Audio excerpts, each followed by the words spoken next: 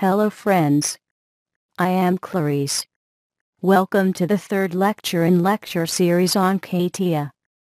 In this lecture, we are going to discuss certain checkpoints of a sketch, some toolbars in Sketcher to get us started.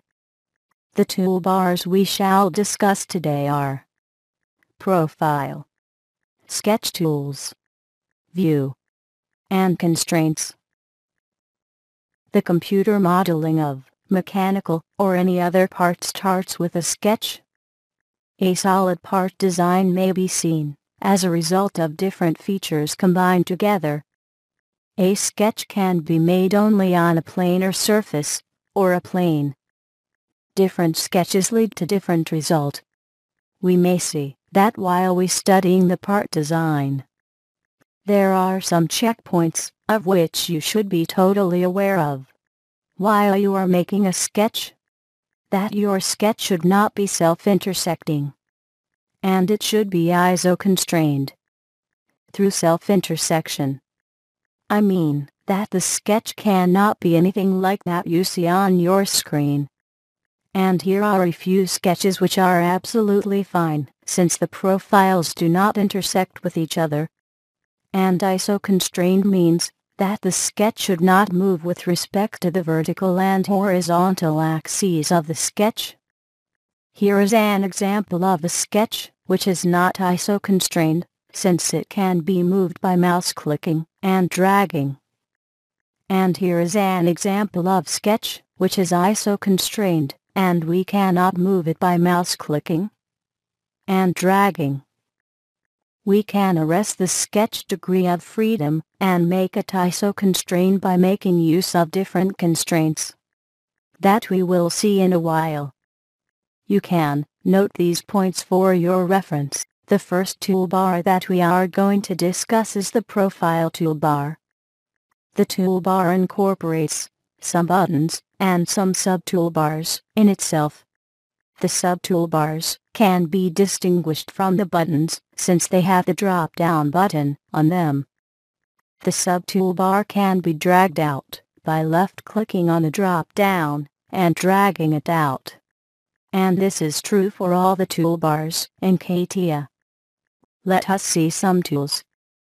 The first button is that of Profile. Using this you can make a line.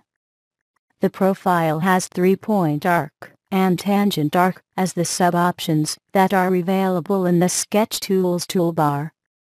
The line, arc or tangent arc can be made by left-clicking on the screen, or by entering the values in Sketch Tools toolbar. For all the buttons present in the Profile toolbar, the Sketch Tools has the option of entering the values and shows the sub-options when available.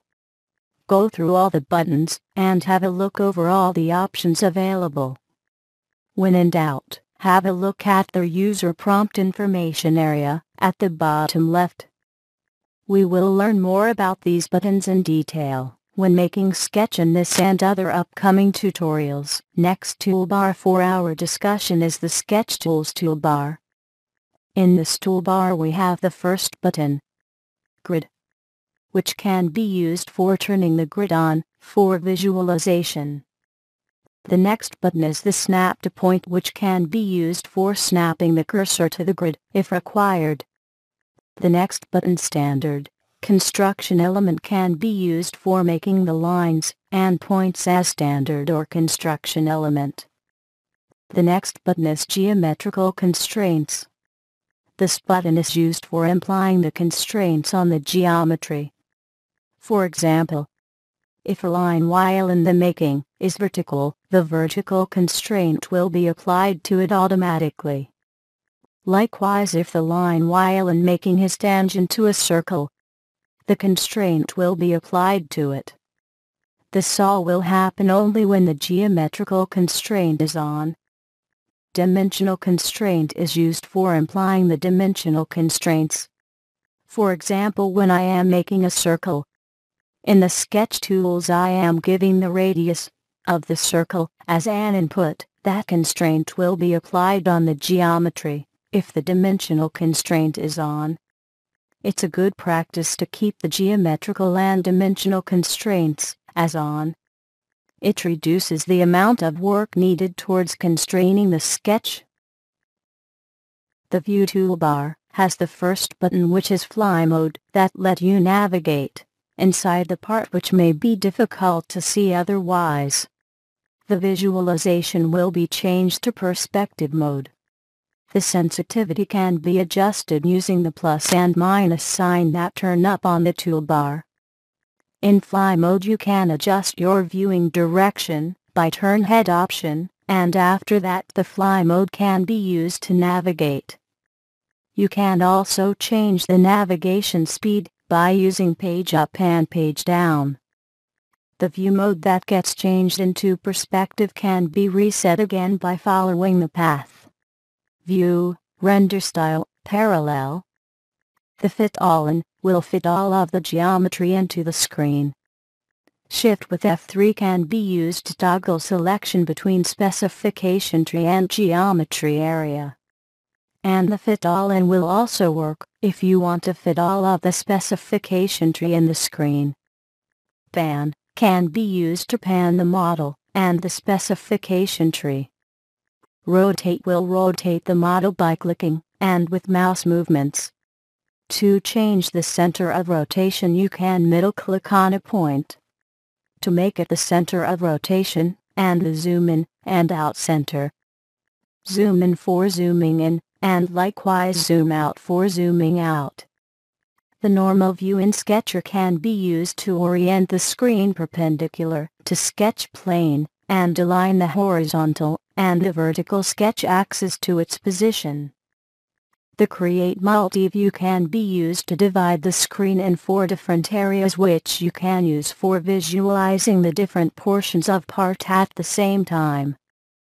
The Quick View has different view buttons which can be used to switch between view. And also the multi-view can be used in conjunction with Quick View.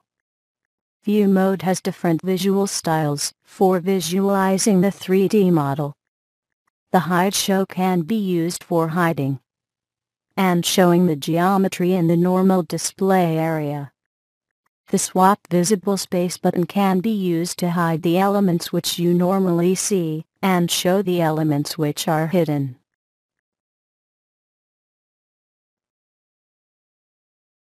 In the Constraints toolbar, you will find all the tools for arresting the degrees of freedom of the sketch. It is by using this toolbar, you can turn your sketch ISO constrained. We will proceed by examples. Let us see how we can make rectangle symmetric about the vertical and horizontal axes. Select the edges first that you want to make symmetric using the control button, and after that select the line or the axis about which you want to make symmetric. The selection order is important. The edges and then the symmetry axes. All the lines are selected while the control button is pressed. After that, we can go for the constraints defined in dialog box to make them symmetric. Likewise a line can be made tangent to a circle. Select the entities you want to make tangent using control button, and making them tangent using the constraint defined in dialog box. A circle can be made concentric to another by using the constraint defined in a dialog box. Select the two circles by using the control button, and then go for the constraints defined in dialog box. Similarly two points can be coincided. Select the two points using the control button, and then applying constraint through the dialog box. The constraint option in Constraint Creation toolbar can be used to specify diameter of circle, or length of line, or distance of line from vertical, horizontal, or any other line. A fix together option can be used to fix several parts of sketch together.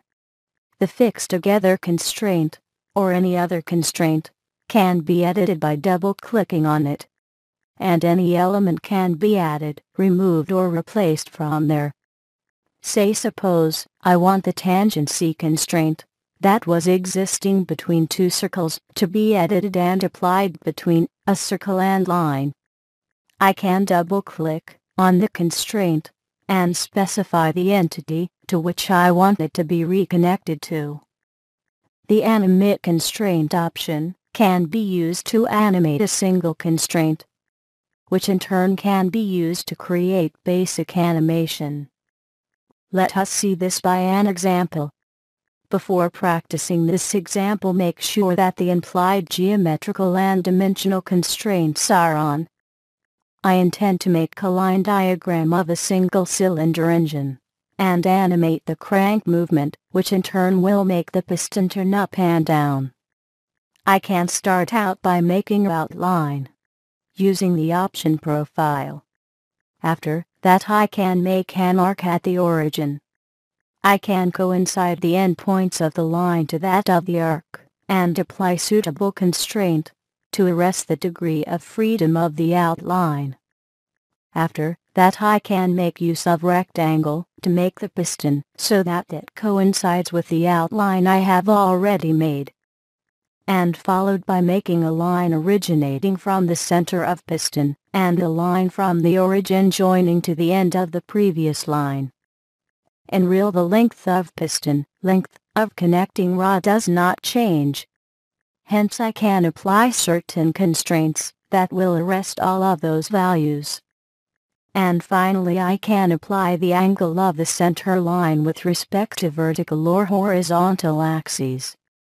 The animate constraint command can be issued, and the angle can be animated from 0 to 360 degrees in a loop. The direction of motion and constraint visualization can be set according to need. The Edit Multi-Constraint option can be used to edit all the constraints that exist on the screen in one go. Suppose the values with which I made my sketch does not feel right. Using Edit Multi-Constraint I can change all the values through one dialog box.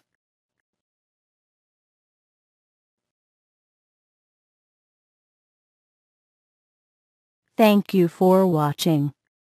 Do watch this space for more tutorials and lectures.